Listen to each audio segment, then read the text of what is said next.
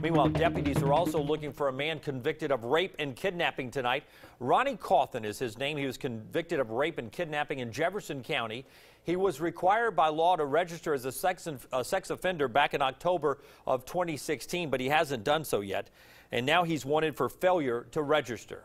Bottom line is he failed to show up. He knew he was supposed to, and he knew it was a felony violation of the law. Deputies believe Cauthen is in the Center Point area. If you see him, you're asked to call the Jefferson County Sheriff's Office.